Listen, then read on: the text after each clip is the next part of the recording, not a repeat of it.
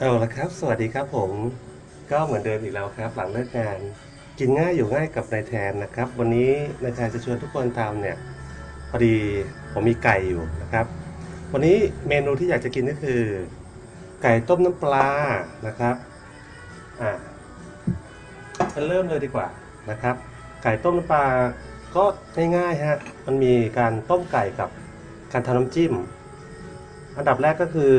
ใส่เครื่องหอมกันเลยฮะรากผักชีนะครับ แล้วก็เครื่องต้มยำครับข่าตะไคร้น้ำนี่คือเอาพอเอ่อเอาปริมาณที่พอท่วมไก่นะครับอ่าข่าตะไคร้ใบมะกรูดนะครับ ฉีกแล้วก็เติมความหวานด้วยน้ำตาลนะครับน้ำตาลประมาณนี้นะฮะประมาณหนึ่งถ้วยนะครับ เป็นน้ำตาลปี๊บนะครับ เพราะว่าน้ำตาลปี๊บเนี่ยจะให้รสที่ละมุนกว่าอ่า แล้วก็ตามด้วยน้ำปลาประมาณหนึ่งถ้วยก่อนนะครับอืมแล้วทีนี้ครับเดี๋ยวชิมก่อนนะว่าน้ำเขาเนี่ย ความเค็มพอหรือเปล่า อืมเดี๋ยวหน่อย ชิมน้ำก็คือไม่ต้องให้อ่าไม่ให้เค็มมากจนเกินไปนะครับ เพราะว่าเราจะตุ๋นไก่ไปเรื่อยๆ แต่ความเค็มจะซึมเข้าเนื้อ แต่ว่ามันพร่องไปนิดนึงนะครับ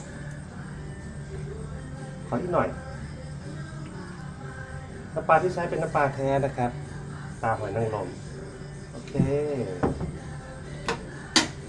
แล้วก็สิ่งที่ขาดไม่ได้ในการกระชับรสชาติ รสดีรสไก่นะครับ ใส่นิดนึงนะครับประมาณครึ่งช้อน ไก่ต้มปลาไม่ใช่เอาน้ำไม่ใช่ใช้น้ำปลาจนเยอะเกินไปนะครับ ใช้ให้เขาเนี่ยมีความเค็มอยู่ในเนื้อไก่แล้วก็ เอ่อแล้วก็มาจิ้มน้ำจิ้ม แล้วแต่งแต่งสีด้วยซีอิ๊วดำนิดหน่อยนะครับ ไก่ของเราจะได้สีสวยนะครับแต่ถ้าเกิดใครไม่ชอบ ความเข้มของซีอิ๊วดำก็เป็นขมิ้นก็ได้นะครับ อ่า แล้วทีนี้ก็ลงไก่นะครับ ไก่นะครับ ผมใช้ปีกไก่นะครับ เพราะว่าเป็นส่วนที่ผมชอบ แล้วก็ทุกคนในบ้านชอบนะครับ ส่วนน่องติดสะโพกเนี่ยครับผมจะใช้แค่น่องเดียวนะครับ แต่ส่วนนี้เป็นส่วนที่เนื้อหนาหน่อย ผมจะต้องบ้างเขานะครับ บ้างไก่นะครับมันจะได้สุกทั่วกันนะครับ นี่ฮะบ้างแค่นี้พอหย่อนไปเลย ทีนี้ก็ตุน ตุนของทุกอย่างนะครับ ให้สุกได้ที่เลยประมาณ ตุนให้น้ำมันงวดเลยฮะ ประมาณสักยี่สิบสามสิบนาทีแหละ ขอเวลาแป๊บหนึ่งนะครับอ่าแล้วครับขั้นตอนต่อไปก็คือเป็นการทำน้ำจิ้มมันนะครับ น้ำจิ้มก็ง่าย ๆ ครับสไตล์ผมเริ่มต้นด้วยพริก วันนี้ผมจะใช้พริกขี้หนูสวนแล้วก็พริกจินดานิดหน่อย เพื่อเอาสีแดงนะครับ แล้วก็จะมีพริกเหลืองนะครับ ใส่ครกลงไป แล้วก็รากผักชี เพิ่มความหอม แล้วก็กระเทียมสีสะเกดนะครับ เพื่อนอฝากเพื่อนกับ กลับมาจากสีสะเกดบ้านบ้านมันนะนะเอามาฝากต้องขอบคุณมันจริง ๆ ใช่แล้วหรอกก็ไว้ทำกับข้าวทำกับแก้มกินกันนะแล้วทีนี้ก็ถึงเวลาการโขลกนะครับ ผมขอเวลาโขลกแป๊บนึงนะครับอ่าแล้วครับเนี่ยก็โขลกไปเรื่อยๆนะครับโขลกให้จนละเอียดเป็นที่น่าพอใจของเรานะครับถ้าชอบละเอียดมากละเอียดน้อยนี่ก็จัดเต็มเลยนะครับเอาละ ดี๋ยวขอเวลาโขลกแป๊บนึงนะครับ เดี๋ยวปรุงรสให้ดูนะครับทีนี้ก็ถึงขั้นตอนของการปรุงรสแล้วนะครับ ก็เริ่มด้วยเกลือนะครับ นิดหน่อยนะครับ ให้ความเค็ม แล้วก็ให้ความหวานด้วยมิตรผลของเรานะครับผมปรุงรสตามชอบใจเลยนะครับ ว่าชอบชอบสไตล์ไหนนะครับ อมกึ่งน้ำจิ้มซีฟู้ดเนี่ยก็คือ ก็ต้องมีความจิ๊ดจ๊าดนะครับจิ๊ดจ๊าดแซ่บๆหน่อย เผ็ดเปรี้ยวหวานเค็มนะครับ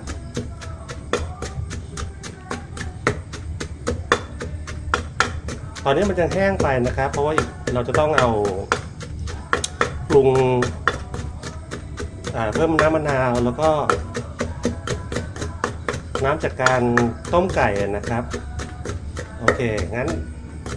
เดี๋ยวรอให้ไก่สุกก่อนเดี๋ยวปรุงรสให้ดูเต็มที่เลยนะครับ ผม อ่าล้วฮะทีนี้ก็ถึงเวลาแล้วครับ กับการที่ว่าเราพอเราต้มไก่ไปสักประมาณ 30 นาทีนะครับผมก็มาเช็คกันเลยว้าวโอเคเลยความสุกได้ที่แล้วฮะเอาละทีนี้ก็ถึงถึงขั้นตอนการปรุงน้ำจิ้มต่อแล้วนะครับ อ่าขอชิมน้ำหน่อยนะครับน้ำซุปของเขานะครับอืมมีความเค็มปลาแรมปลาแรมแล้วก็มีความหวานจากน้ำตาลปี๊บที่เราใส่ไปนะครับ ทีนี้ก็คือขั้นตอนการปรุงน้ำจิ้มของผมเลยนะครับ ง่ายๆเลยครับก็น้ำจากนี้ครับ มาใส่ในน้ำจิ้มของเรานะครับ จะได้ปรุงถูกนะครับแล้วทีนี้ก็ ขออีกหน่อย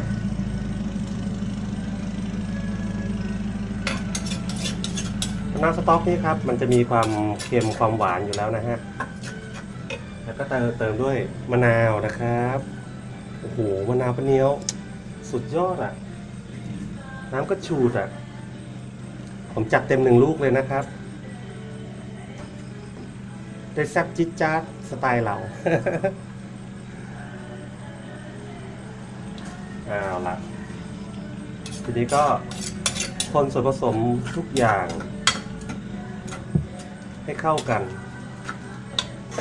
ปรุงดูซิใหญ่ชิมดูซิว่ามีความเค็มหรือยัง ความเปรี้ยว ความหวาน ความเผ็ด ความหอม ได้แล้วโอ้โหแต่ความเค็มอ่อนอ่อนไปนิดนึงนะครับ ชิมก่อนอมขอความเค็มอีกนิดนึงนะครับปรุงรสให้อ่าตามความชอบเลยนะครับ ให้ได้รสชาติที่เราต้องการนะครับ แล้วก็เราจะได้จัดการอย่างมีความสุข กินอย่างมีความสุข เมนูแบบเนี้ย กินกับข้าวก็ได้ กับแก้มก็ดี โอเป๊ะแล้วพอ โอเค เดี๋ยวจัดจานให้ดูนะครับเอาละฮะ ทีนี้ก็เสร็จเรียบร้อยเลยครับ น้ำจิ้มเสร็จแล้วนะครับ แล้วก็ ไก่ต้มน้ำปลาของเราก็สุกแล้วนะครับ นี่ โอ้โห เนื้อเด้งๆเลย และที่สำคัญนะครับ พวกปีกเนี่ยครับ จะนุ่มมากแล้วก็ร่อนมากจริงๆ อือหืออดใจไม่ไหวกลิ่นหอมมากจริงๆน้ำลายแตกไปหมดแล้วเนี่ย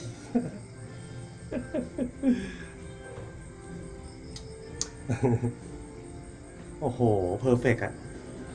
สุดยอดจริงๆโอ้โห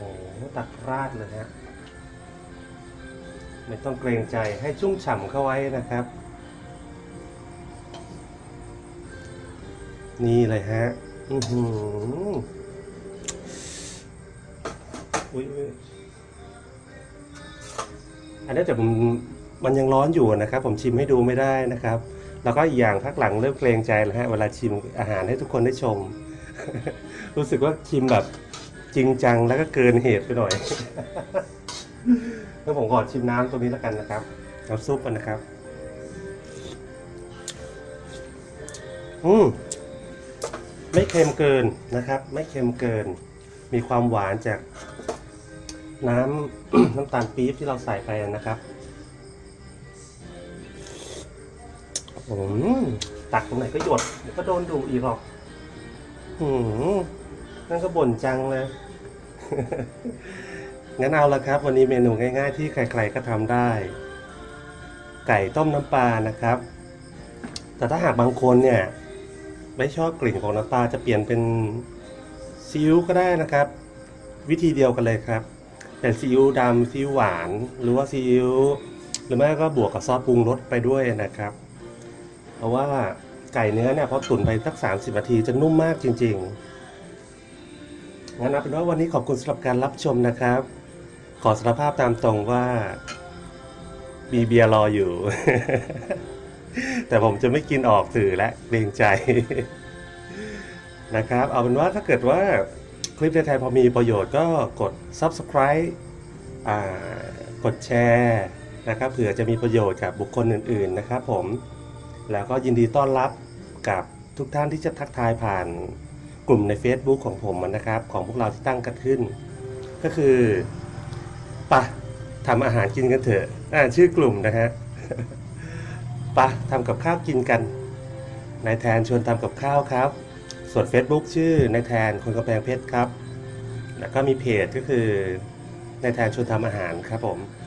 เรามีอะไรเรามาจอยกันในนั้นดีกว่านะครับ เป็นการลงภาพเป็นการแชร์ ซึ่งกันและกัน